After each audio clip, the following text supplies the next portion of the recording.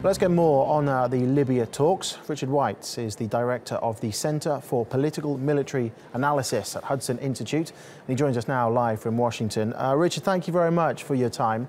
Uh, we've seen other examples, haven't we? Notably in Syria, where weapons have ended up in the wrong hands despite good intentions.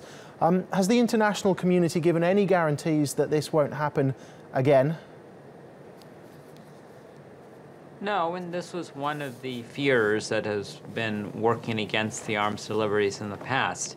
However, in the case of Libya, there are so many small arms already in the country, many from Gaddafi's former stocks, that it's really not clear to me that any additional arms that are supplied to the insurgents, uh, to the government, as long as they're not especially advanced or surface-to-air missiles or something, if they're just uh, light arms and, and small arms and light ammunition, light weapons, then I think it shouldn't be a problem. I don't think there's any additional risk compared to the possible gain. It's, it's, so how, how reliable a partner is the unity government right now? How stable and strong are they?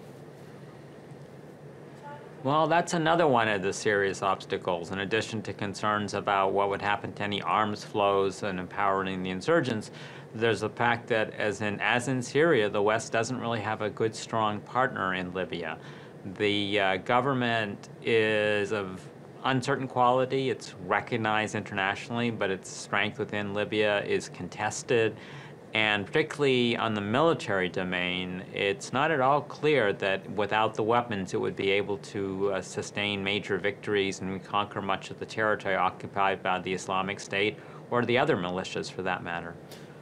So is this the extent of the international community's involvement, do you think, or will it need greater military cooperation to, to ultimately defeat Daesh?